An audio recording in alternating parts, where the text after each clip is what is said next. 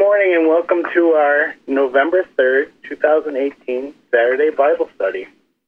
We're broadcasting from the Plainfield Christian Science Church Independent, and Betty from California is our moderator. Okay, I'll start off with the uh, the Bible was my textbook. It answered my questions as to how I was healed, but the scriptures had a had to me a new meaning, a new tongue. Their spiritual signification appeared, and I apprehended for the first time in their spiritual meaning Jesus' teaching and demonstration, and the principle and rule of spiritual science and metaphysical healing. In a word, Christian science. From Retrospection and Introspection by Mary Baker Eddy, page 25.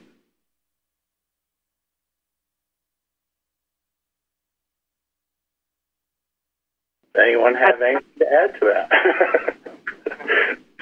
that? We're on radio silence. it's very beautiful.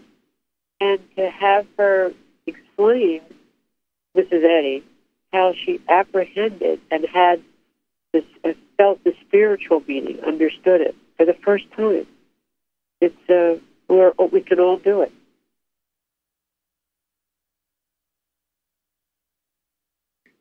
I find that since I started Christian Science, that the Bible has come alive for me also, with uh, different interpretations through Christian Science. It makes sense now. I read it before, barely read it before. I skipped through maybe at Christmas time or something, you know. But now, it, delving deeper into it with the interpretation of Mrs. Eddy, it seems to really make sense for me, and, and I really enjoy the stories.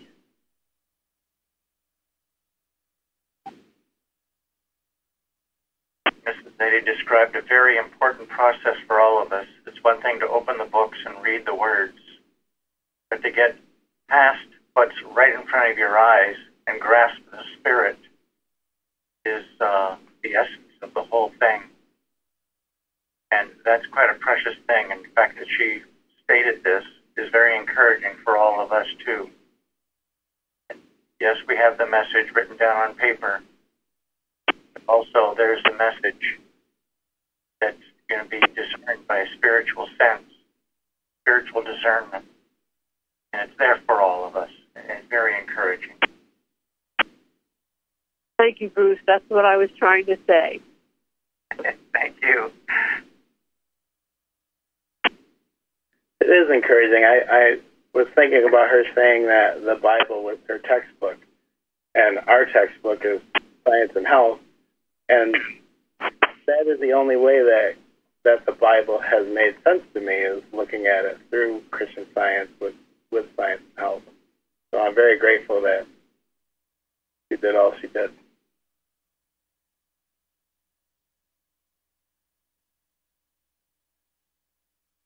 Growing up, um, the church that I went to, you read the Bible was like a Bible story that this was something that happened, but it really didn't have any meaning. It was, okay, this happened, but it doesn't explain the spiritual meaning or how it applies to today.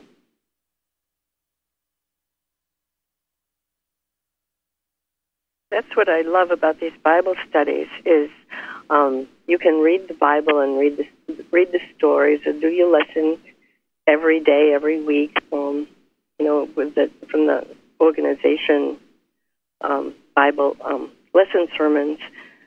But for years I did that, and I didn't really grow from le- reading those stories because there was no more further teaching.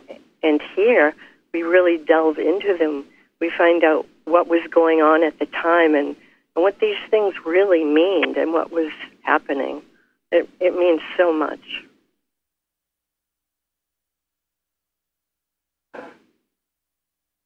Think the point about the new tongue is so important. It, it's a new language we're learning through our spiritual sense. I just love it. And um, I think that when I look at what she wrote here, it makes me think of why she wrote the new birth, because we're on a different journey altogether. And however slow, it's a different one. You know, making the things of spirit becoming our reality instead of so delve, you know, dwelling in the mortal sense of things. So it is a new tongue that we are learning. Ready?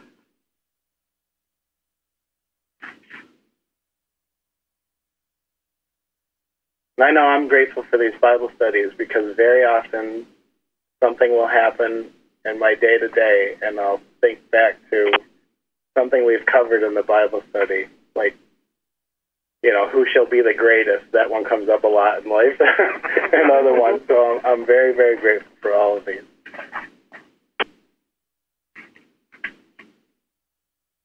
And I never related it to today before the Bible studies. They've been such a big help. They really have. It's current. And you can see it happening again and again in the world.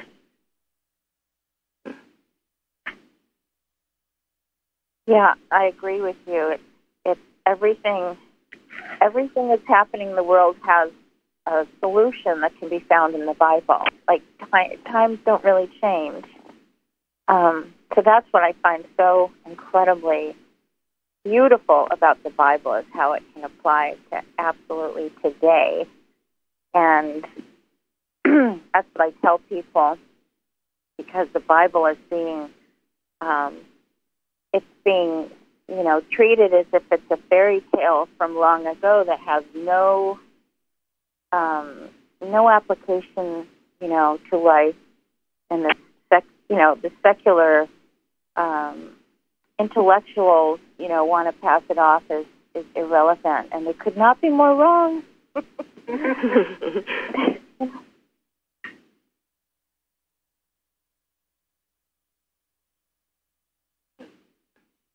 Well, um, should we get started? Take it away. Okay. Um, topic Repent, for the kingdom of heaven is at hand. And the Bible readings were from Matthew 26, Matthew 27, uh, John 21, and Acts 2. The question number one What is going on at this time with Jesus and the disciples? We're basically setting up what what the time period is and what's happening at this, during this time.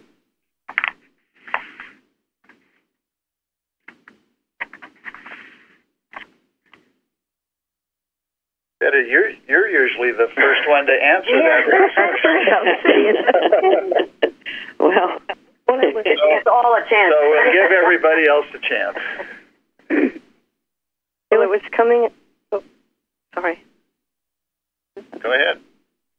It, it was coming up on the time of the Passover, Pass, Passover, Passover. the Passover feast, and it was a couple of days before, and Jesus told the disciples of his, you know, the, the crucifixion was going to happen right after the Passover, and um, I don't know if you want me to continue with what happened. Um, a woman, Mary, came and anointed his head with oil, and he said that this was for his burial.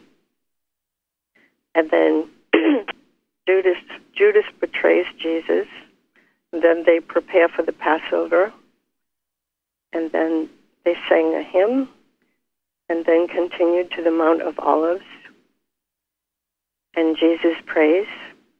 He took all his disciples went out with him, but then he took his three disciples, Peter and the son sons of Zebedee, James and John, and took them he took them with him and asked them to pray with him, but he went a little further and he came back and the disciples had fallen asleep.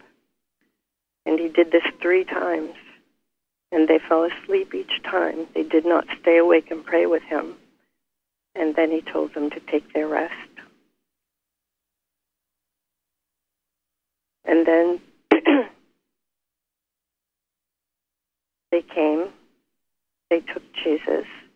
Jesus said that the scripture must be fulfilled.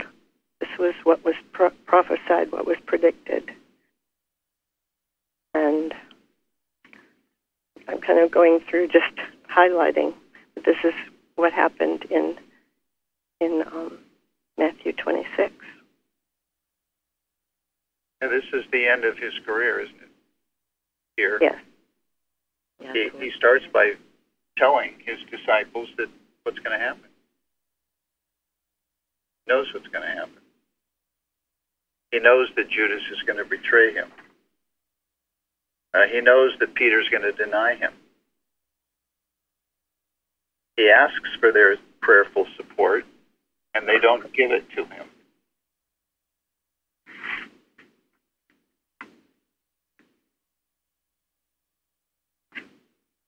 I think they're all pretty gloomy and dejected. I mean, there's this kangaroo court set up. Um, they already know what they want to do with Jesus, so it's they have these trumped up charges, and it's just. I, think the they they felt kind of the disciples felt like they couldn't do anything, and they were kind of gloomy so much going on in this one chapter. I I don't think I've ever read it through before. Well, you know, it's interesting because um, that happens to us today.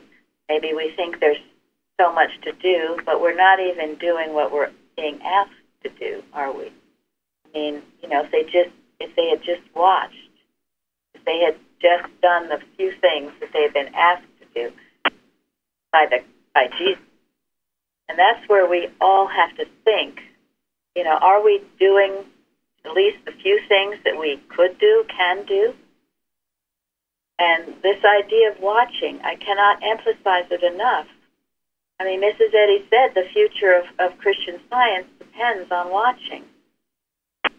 And we can change, we can change history. Won't be history, well, it'll change if we work the way we should. Because Mrs. Eddy has said, most of you have read this, by the year 2100, we will either have done this work or we will be plunged into the worst dark ages ever. Of course, that's in our unauthorized literature because, heaven forbid, people know about it. But it's very sobering. You know, as a child, I I read several times Gone with the Wind, and that was very sobering because Scarlett's having this great big party, and they're expecting only happy times ahead of her. Civil War begins, and most of you know the story. It was it was Gone with the Wind. So we have an opportunity now to do what we should, and it's a solemn, important privilege to be working, an honor to be working. This work must be done.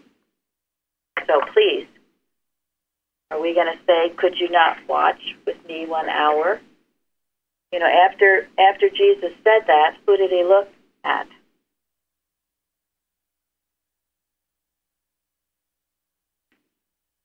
He looked at Peter. Why do you think that?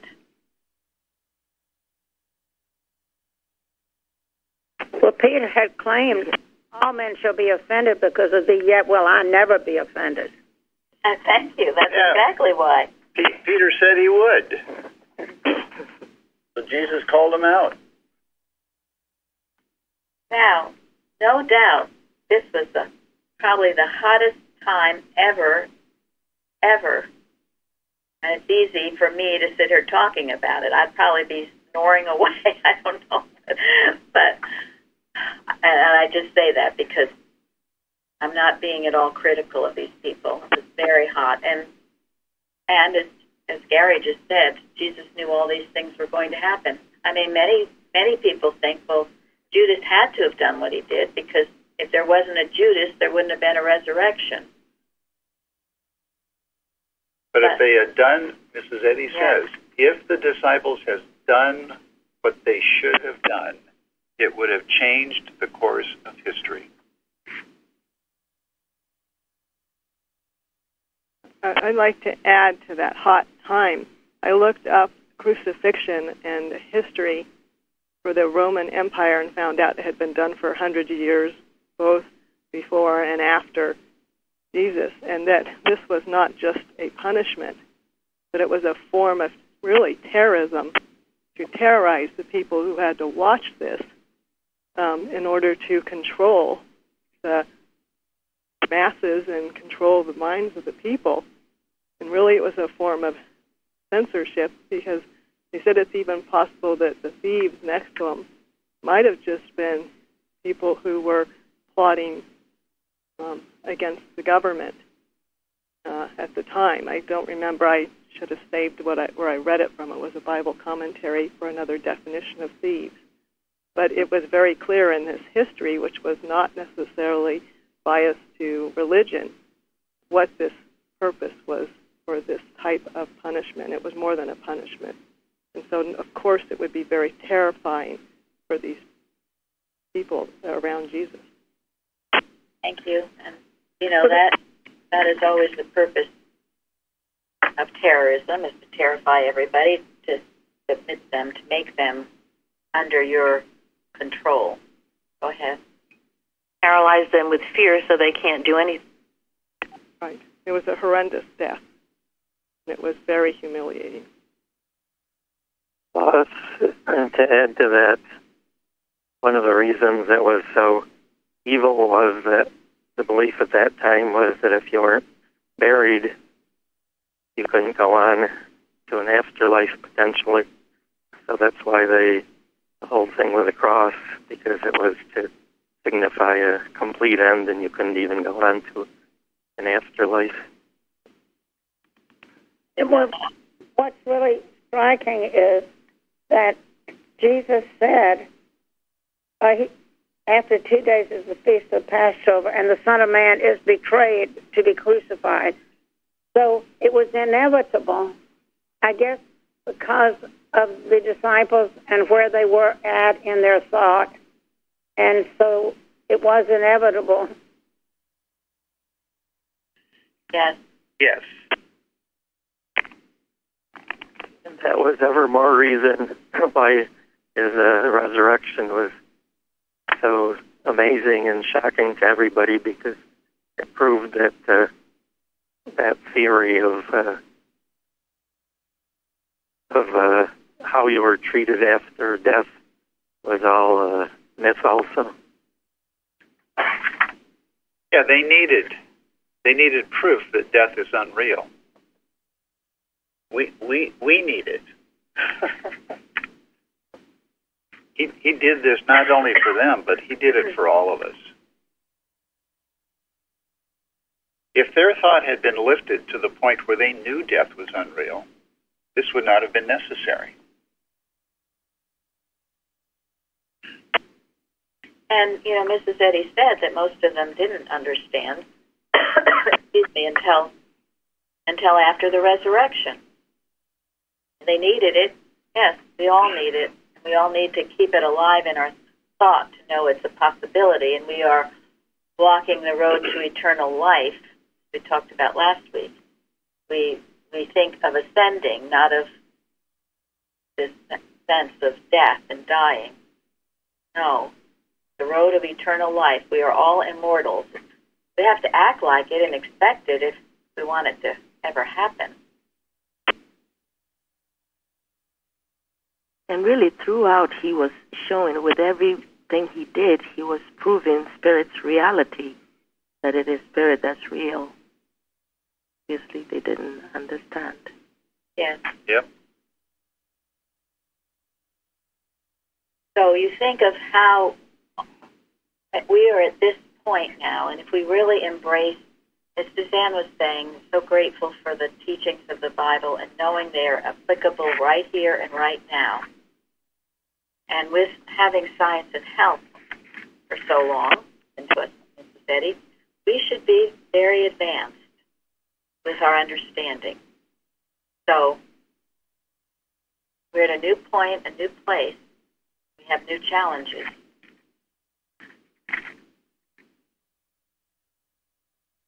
Let us not sleep.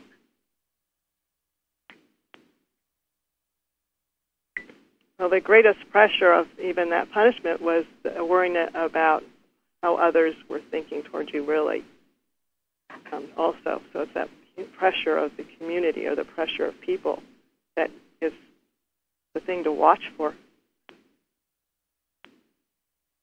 It always seems to be the way, but we have to be far beyond that. And you know, in many ways, I've often thought our our country maybe we don't have militia, although actually we are having a militia. We are at war. I mean, aren't we? Yes, we are. Yes, we are. A different kind of war, but it's a war. And Mrs. Eddy says too about the mental warfare, and that is definitely going on.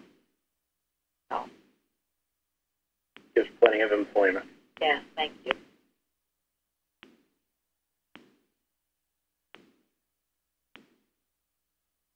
Anything else on the background? Well, one thing I read too, when all- all the disciples, when Jesus asked or told them that there was going to be someone who betrayed them, they didn't point fingers. They all said, "Lord, is it I?" I, think it's a good thing. I mean, they didn't say, "Oh no, it's Carol, it's Lily, it's Jeremy, but not me." they said, "Is it I?" Well, it means they thought not very well of each other, I guess. well, that's true too. Well, uh, also, it, it it shows a really good quality, doesn't it? Self-examination, yeah, it does. Mm-hmm. the humi- the humility to question, am I on the right track here, or am I going off? Isn't that really an essential part of spiritual growth? It's a must, she says. Yeah. Well, there's an honesty to it too, because if you haven't overcome that sense in yourself, then you're still susceptible to do it. Good thing to examine. I think we've seen in this church where people will stand up and boastfully say, yeah, I'll never leave. I'll never quit this. I'll never go anywhere. How much healthier it might be pray to God, dear God, I humbly ask you to keep me in your path. Your servant.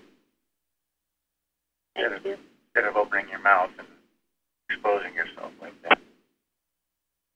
Well, it seemed to be a truism. Mrs. Evans used to talk about. We had someone on a Wednesday night get up and say, "I love this place. I will never leave it." And I don't two or three days he was gone. And I've had the similar experience. People have told me, "I'm never. I love this place. I'm never leaving it." And whoops. so thou dost protest too much. Better to keep quiet and and pray that God keep you on the straight and narrow, and know that He will, because He will. Why is that unwise to do? You invite the tempter. Well, yeah, yeah, you're tempting the devil. Because whenever, yeah, I mean, whenever you shout to the world, I'm something, the devil is going to say, okay, prove it. I'm a target. Yeah. You become, yeah. And you're Target. waving a waving a flag. And and if that's true, if it's really in your heart, you don't need to say it. It's true about so many things. If it's really true, you don't have to talk about it. Just do it. Be it. Don't tell me. Be it. Mrs. Eddy, No, go ahead. no, I was going to say Mrs. Eddy herself prayed that Father show me my place and keep me in that place. So it just shows, you know, the humility of it, not, you know, boasting that I can do this, I can do this. Uh, Yeah. Thank you. She also talks about it's. She said something to the effect of it's for future generations to to judge some things like that. So better to let somebody else say about you, "Oh, he never left," than for you to say it. And in precepts, Carpenter says sometimes it's better for someone who can't deal with it to get out of the Get out of the limelight. yeah, get out of the animal magnetism that would try to attack you. If, if you can't deal with it, then leave. At least leave for a while, come back, feel better prepared. But she said this in a way to Judge Hanna, and she's told Judge, what did she tell Judge Hanna?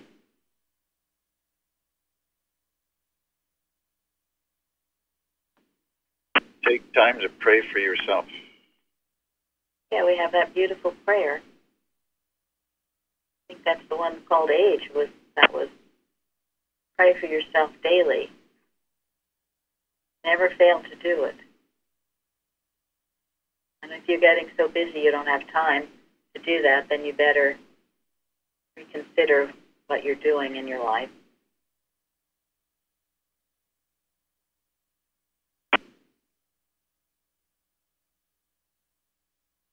I have something I'd like to add that I thought was really helpful in reference to Matthew 26, verse 23. And he answered and said, He that dippeth his hand with me in the dish, the same shall betray me. I found some commentary on dipping his hand into the bowl with me. It was a custom still practiced by some in the Middle East take a piece of bread or a piece of meat wrapped in bread and dip it into a bowl of sauce made of stewed fruit on the table. Will betray me in that culture. As among Arabs today, to eat with a person was tantamount to say, I am your friend and will not hurt you. This fact made Jesus' deed all the more despicable. I mean, Judas' deed, excuse me, all the more despicable. Thank you, Ken. I didn't Yeah. know that. Welcome. I found that really helpful. Uh huh. Because he was he was very duplicitous. And and and I, as someone said before, Jesus knew all this. Gary, I guess he knew knew all this was going to happen. Um, So thank you very much. Well, that, that, that see that that that's really uh, interesting because you know all of Jesus' disciples claimed to be his friend. Even Judas claimed to be his friend. Judas actually thought he was doing the right thing. So, people who claim to be a friend don't always have the right concept of what true friendship really is. Do they? If it's a personal sense of friendship based on something other than God, you can't trust it. No, because people just change their minds. You know. Well, and if it's personal, comes up, something comes up, and they, they're governed by something other than God. yeah. Quick to get offended. And they're quick to make mistakes. Who knows what they're going to do next?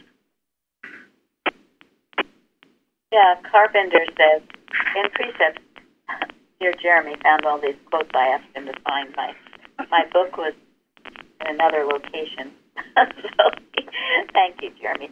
But Carpenter says animal magnetism and mental suggestion are solely the human mind operating in ways that have for their intent to rob man of God.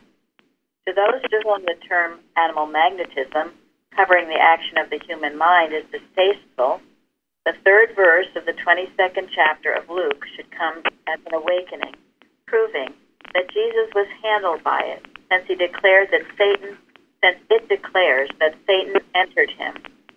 When students realize, to some extent, they all yield to mesmerism, they realize how close many of them come at times to a betrayal of the master. Judas simply functioned under the human mind at a time when it required that dastardly deed to be done. Metaphysicians are not indignant at Judas for the betrayal, but at animal magnetism, although they do not mitigate Ju- Judas's responsibility for yielding to the human mind. And you know, I read too. Think of it.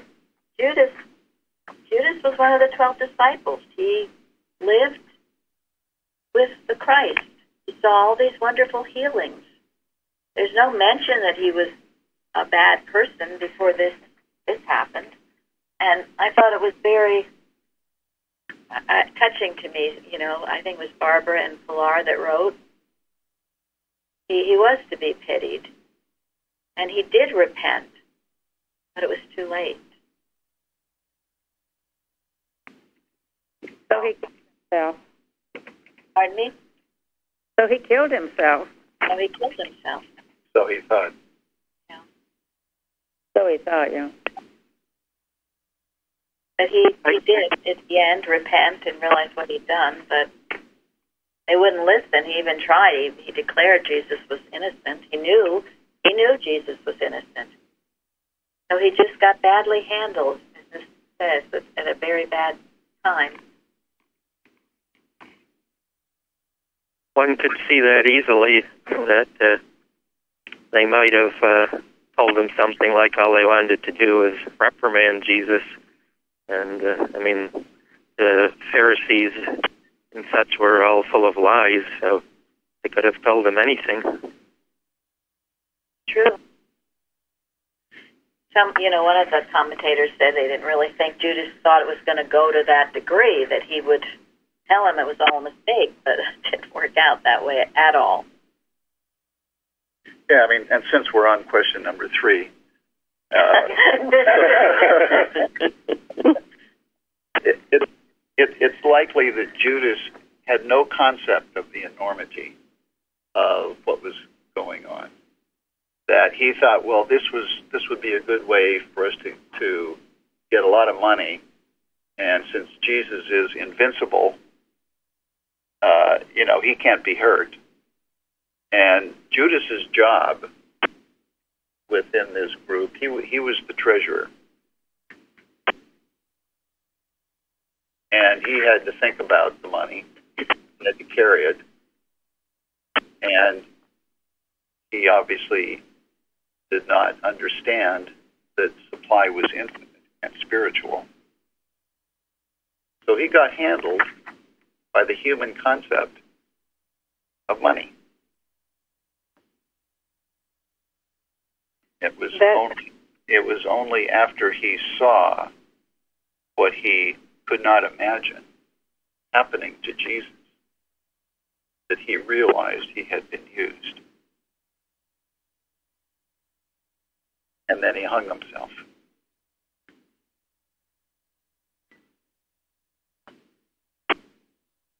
Sure, that informs the statement later of um, the root of all evil is the love of money. So, Yeah. mhm. Thank you so much for that, Gary, because I had no idea that he was the treasurer, and uh, it was something that uh, I don't know. I guess it was a, a perception of something from God about when my sister and I were farming. There were many times when we were told we had to do this or that to make more money, and if we perceived it or thought that it was immoral, we stayed away from it.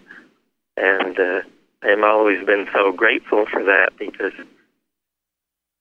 getting money for the wrong motive is that love of money that uh, was just mentioned. Yep. Thank you. Thank you. Yep. And I read I read that Judas had been stealing from the collective money bag. And because it was an unconfessed sin, it opened him to to the ploy of, of Satan. So this is why and this is why keeping things in secret is so dangerous. That's the embryonic thought. You might do something you don't think is that bad. Mentioned in the lesson this week starts the belief of sin, which has grown terrible in strength and influence, is an unconscious error in the beginning, an embryonic thought without motive, but afterwards it governs the so called man. So you watch those little suggestions. I mean, actually, stealing wasn't that little, but how does it first come? It first just slips in there, and then the next thing you're controlled by it. So, and it was unrepented. How did you learn that he had been stealing? It was in a commentary. Oh, I see. It Well, also, That explains a lot to me. I mean, that really puts him in a different light uh, and more understanding how this came about. well, that's true. This commentary also said it, that it teaches even the best example, most compelling evidence, and the finest teaching cannot, in and of itself, change a human heart. In this case, it was talking about parents. You know, some sometimes, well, you'll have a really good parent, and their child seems to go off, and so, eh, I mean, Judas had certainly the best example in the world, and yet he went way off. It's always the workings of animal magnetism. And this is, again, why we watch, why we pray, why we look and see what's going on. We're not stupid. We stay ahead of the game um, as parents, as citizens of our country. See what air is trying to do, and then make sure it does not happen. And God tells you these things, and they never fail. They will always be proven to be right. While others sleep, you're seeing things that perhaps others are not. Well, that puts a whole uh, incredibly different light on it uh, and really opens up things because, I mean, isn't that the way blackmail works? They find the person who has some little thing they owe money or they have some kind of a habit that's immoral or whatever, and then they blackmail them and get them to do their bidding and uh, downfall of others. Thank you. Yes, that's true. I've heard that goes on in our government. They choose people that they can blackmail in order to control them. And if, if they succumb to it, then then we've got corrupt, corrupt government. So, you know, that's why it's so important to clear your slate. Maybe, I mean, who hasn't done something wrong or who hasn't? But if you repent of it and you've changed and you don't ever go back to it again, then let them say whatever they want to. They can't pull your chains. They couldn't pull Paul's chains. He, he was killing Christians, but he repented. So he still, I'm sure, felt bad about it, but it didn't change his course of doing good. It's very, very important you have that about yourself. Don't ever forget that. You must have a clear conscience. Conscience. You can't have had all these affairs or done all these things, uh, stolen things, or all kinds of things that seem to go on these days, and then think you're going to proceed with your life as if, as if nothing happened. Not with the modern news. They'll find it and they'll pin it up everywhere, and usually it's to your destruction. So repent, change, so you have this clear conscience and you can move forward. And that happens. You certainly don't have to be in government, just in work, daily life. So, such a blessing to have a clear conscience. What does Mrs. Eddy say about conscience? Oh, nothing worse than a guilty yeah, conscience. nothing worse than a guilty conscience. Nothing worse. So, keep your slate clear. There is nothing worse. Even that feeling, sometimes watching TV, the character will do something, and I'll get that feeling from that, and I can't watch it anymore. I hate that feeling. Very true. You know there. You know it's what's going to happen, and even if they can hide it, it'll blow up somewhere somehow.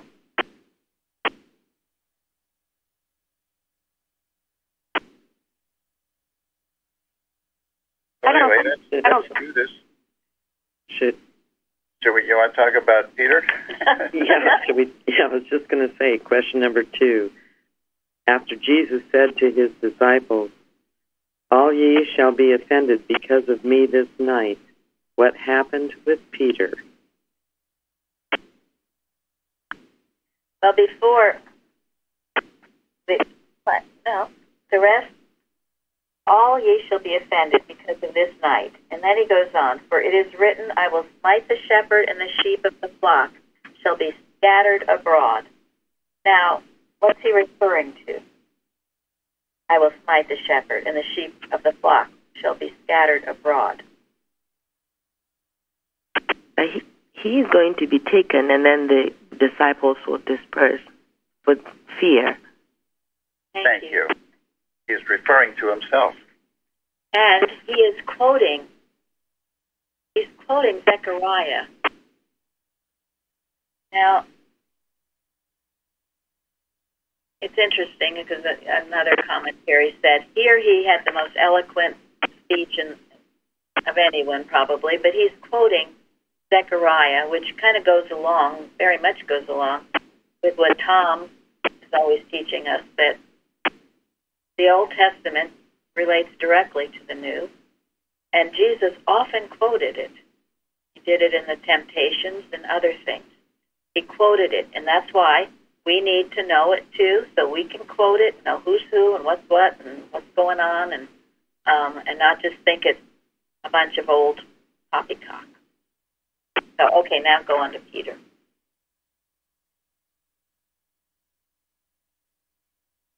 What's with Peter?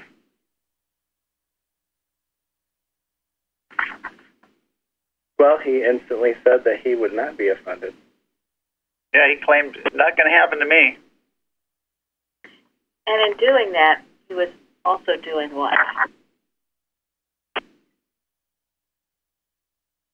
Putting everybody else down. Yes. He was arguing with the Christ. Bad thing. Whoops. He thought he knew better than the Christ.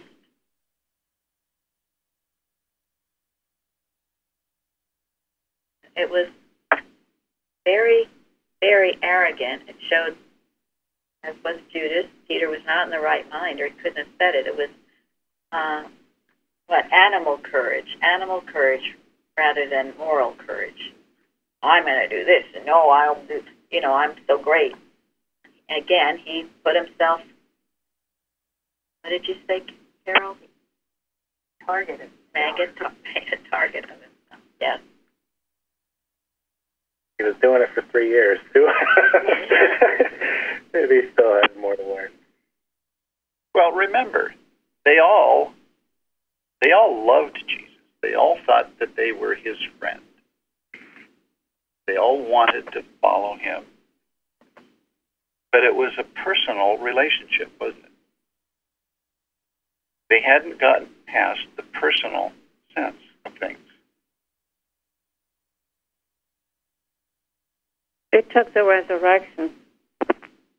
Yes. You know what really helped me is I found a commentary about offended. You will all forsake me and lose in a great measure your confidence in me. All of you will desert me. That really helped me. Thank you. It goes right along with the personal sense. Well, I mean, he, you know, he really did feel close to Jesus. He did love him. He did respect him. He followed Jesus to Caiaphas's house. He actually watched this trial going on. What did you call it, Susan? The kangaroo trial? he actually watched it. However, he became fearful for his own life, didn't he? Because three times somebody came up to him and says, Well, wait a minute, you're with him, aren't you? And he became fearful for his own life.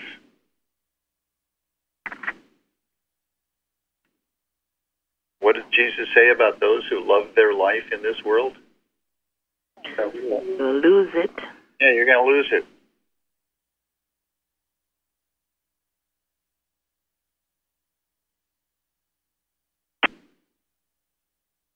And you know where he sat too. He sat. It said he sat far away off. You know, he was distant, distant himself from the whole situation, which was not a good thing to do, and so he became again the sitting target to these women questioning him. Oh yeah, I recognize you. And what he started off lying, and the lying led to what?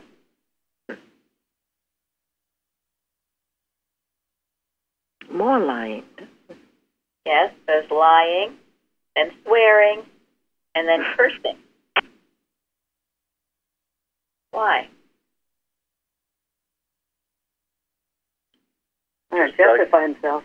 Just dug himself in deeper in the hole that he had started to dig himself. Just doubling down. Yes. Error left alone grows worse. And he realized that before the cock crow, thou shalt deny me twice, and he went out and wept bitterly. That was one good thing about Peter. He was devastated. He was. He was truly repentant. Truly. Not just crocodile tears, not just crying for himself, but he realized what a terrible thing he'd done. I thought it was interesting that apparently he was the only disciple that even followed. Well, that's true. They all ran. Yeah, it doesn't. It doesn't say that anybody else went with him. You're right. That is He, he may good have been the only one. Yep. So the sheep of the flock shall be scattered abroad. So they they ran. They forsook him and ran. All of them. They hadn't professed being so great. But again, this was probably the hottest time in history.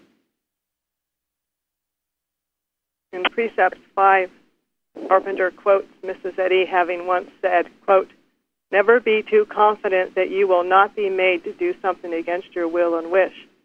End quote. And then later Carpenter talks about Peter and says that um, Air attacked him where he considered his strongest point, not his weakest. And so he kind of dropped, was overconfident and dropped his watching there. I thought that was very helpful to remember. Thank you. Yeah, I read he was self-confident and had self-conceit. And like we talked about with the self-qualities, that takes you out. Right. I could be wrong, but I think the Bible says that John went in with Jesus. Peter stayed outside, and John went in. I'd have to check, but I think I saw that. Well, that wouldn't be surprising. That would be, make sense. Surprised me either. In the Carpenter book, Precept 2, Carpenter says that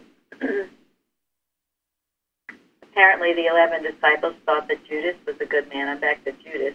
But he, he, he says, Carpenter, that John Dittemore played the part of a present day Judas when he betrayed his trust as a member of the board of directors and threw the church into a costly litigation.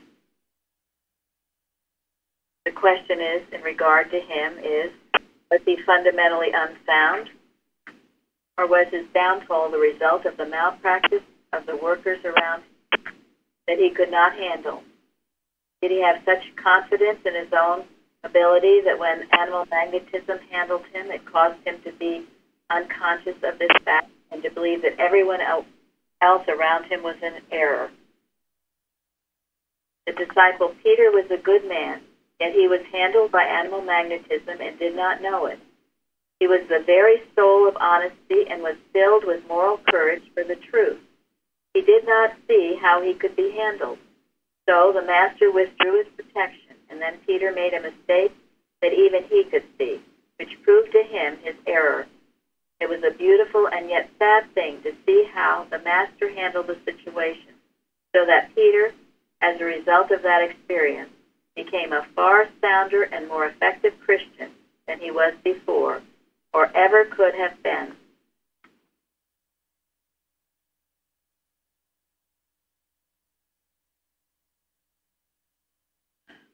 The reason I had all these pages in the precepts marked, all these ones about Judas, because I, I prayed sincerely through all those difficult years that I would not be the Judas, that I would not betray in any way.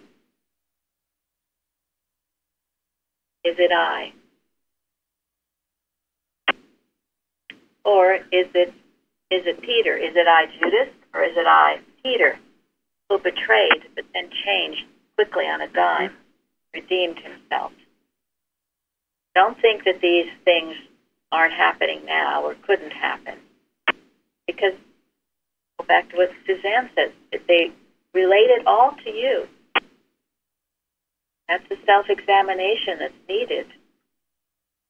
And I've seen many of you who have gotten some difficult rebukes, and yet you haven't run. Run. Run. You've stayed. You've worked it through. That is a sign of a good worker more than anything else.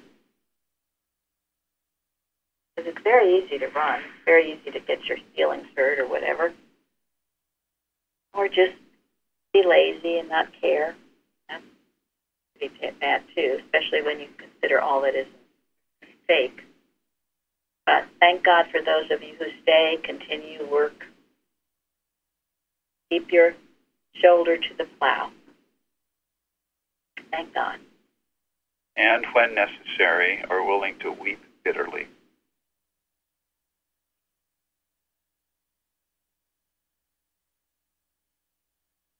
Well, I, I think as far as Peter goes, denying the Christ, I spent at least 10 years denying the Christ. I think of that now, and I'm not, not happy about it, but it happened. So. And that, that is so encouraging because we, we can know people who are denying the Christ, seem so set in their denial of the Christ. And yet, good Jeremy turned around entirely. Always must expect that. It will happen. Sooner or later, it will happen. It can't help but happen. It's the truth. You can't, you can't avoid the truth. I'm very grateful for this uh, Bible study lesson today because uh, it made me realize that there's good news and bad news for me. The good news is that I realize that I, uh, the bad news is that I've been offending the Christ daily, and uh, it may not be to the degree of having him crucified because that already happened. But uh, every time I don't follow exactly in his footsteps, I mean, I've had enough lessons from not only the Bible but also Mary Baker Eddy, where I have no excuses, and yet I seem to be able to do it. Well, isn't that wonderful? You can see it. Mike, that's an honest admission. It's a safe place to be. And that's why Well, I'd argue, I'd argue that point, Well, no, I mean, you're right. It doesn't feel good to actually recognize that. But the fact that you can recognize it and admit it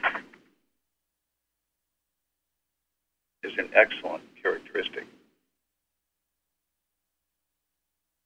That's much better than glossing it over and denying it. Yeah. You're doing what you need, what needs to be done. So that's Yeah, you're, it's infinitely better. Because I've I've done that, glossing it over and denying it, and you just continue in the problem. It gets worse.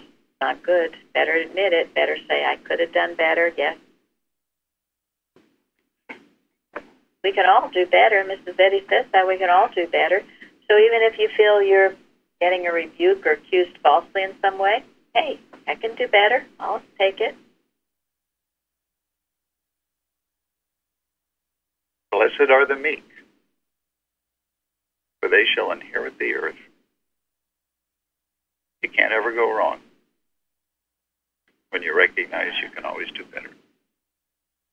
And this beautiful lesson, and this was Florence, Florence, quite thorough, dealing with everything.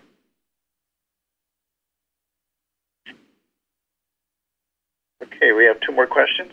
Yes, I was number four. How did Jesus deal with Peter at the Sea of Tiberias?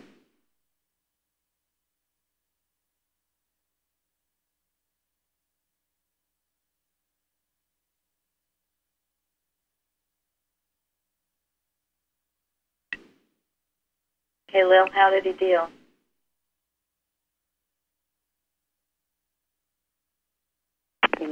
Peter was sort of grieved at the end when three times it was said to him because he had, because he said unto him the third time, Lovest thou me? Lord, thou knowest all things, thou knowest that I love thee. And he knew Go ahead. Go ahead, Fairly. he had denied him three times. So Jesus now was telling him three times what he was to do to feed the sheep. And it's just very touching because Peter was very grieved by this. Uh, saying, You know I love you. And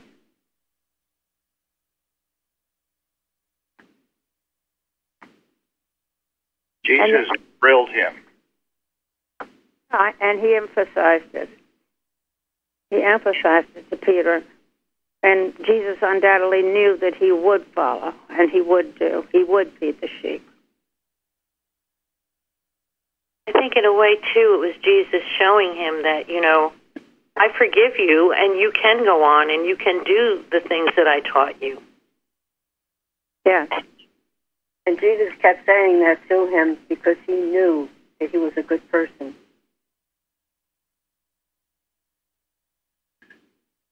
Christly person. There's only one, only one is good, God. Jesus knew Peter's potential. He knew what he could do.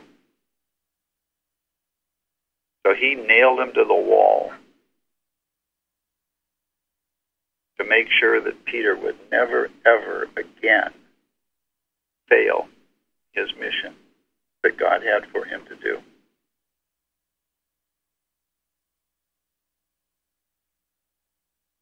It was like a positive echo of the three denial. Yeah. And remember this, he spoke this at the very end. So it's one of the most important things that Christ wanted to be done was his sheep being fed. And you know, take it take it too very seriously. When you ever if you are ever, you know, reading or um doing the fruitage or doing these Bible questions or whatever you're doing for our church, I, I, I always think of feed my sheep. Father, how, how would you have me feed your sheep? If you open up your thought to that, God will answer and you will be led. You'll be moved by Him. Whatever it is, whatever task, feed my sheep. It was preparing Peter what was to happen, to go where he did such tremendous work. When the Christ was no longer, not the Christ, but Jesus was no longer there. I think this is a good example too of what you mentioned, Mary, when people say, "Oh, I will never leave church and this is the place for me." He didn't leave Jesus, even though he felt he did a terrible thing. He stayed the course and then came out better for it. Like what Mike was talking about, you know, I this maybe I've done this wrong, but not condemning ourselves, which is something I've had to learn, and just keep going on to course. And and it's perfect because that's how we demonstrate the truth, Christ. Thank you. That's absolutely. And that's the true repentance, not the just talking one. Condemnation, I don't believe ever to be right. I'm not sure. I don't can't think of any time it's been the right thing to do. Different from repentance. You're just condemning yourself. You're like damning yourself. That's never right. That's not science. And you know, we've talked about this before, but it's such a beautiful thing. And this is only in chapter Mark when they when they entered Mary Magdalene and Mary, the mother of James and Salome, When they were entering into the sepulchre, they saw a young man sitting on the right side, clothed in a long white garment, and they were affrighted. And he saith unto them, Be not affrighted, ye seek Jesus of Nazareth, which was crucified. He is risen. He is not here. Behold the place where they laid him. But go your way, tell his disciples, and And who? And Peter. and Peter Thank you.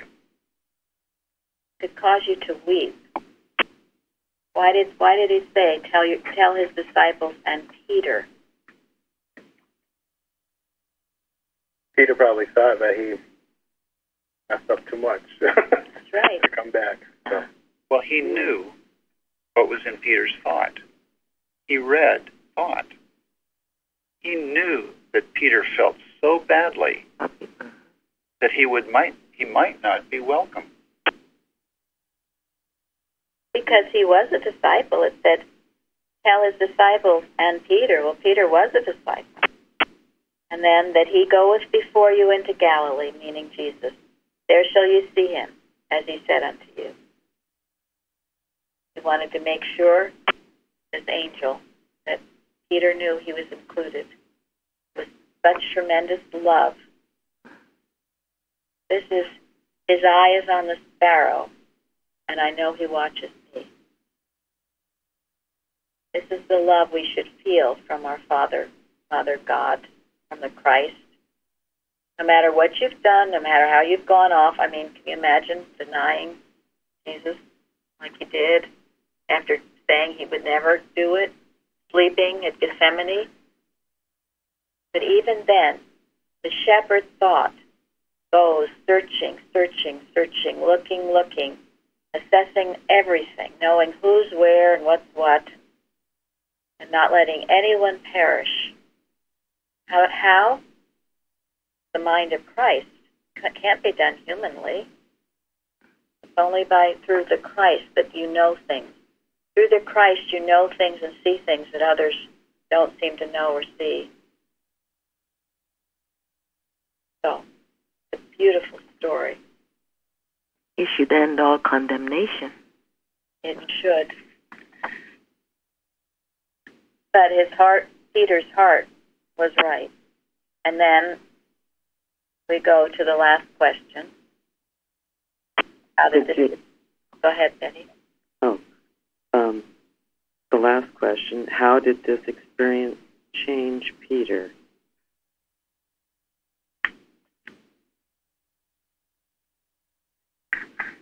He was on fire.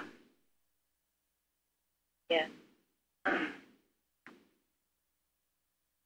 He's the one who stood up at Pentecost and uh, was very convincing and declaring the Christ and calling all to him. And like 3,000 people were baptized at that time.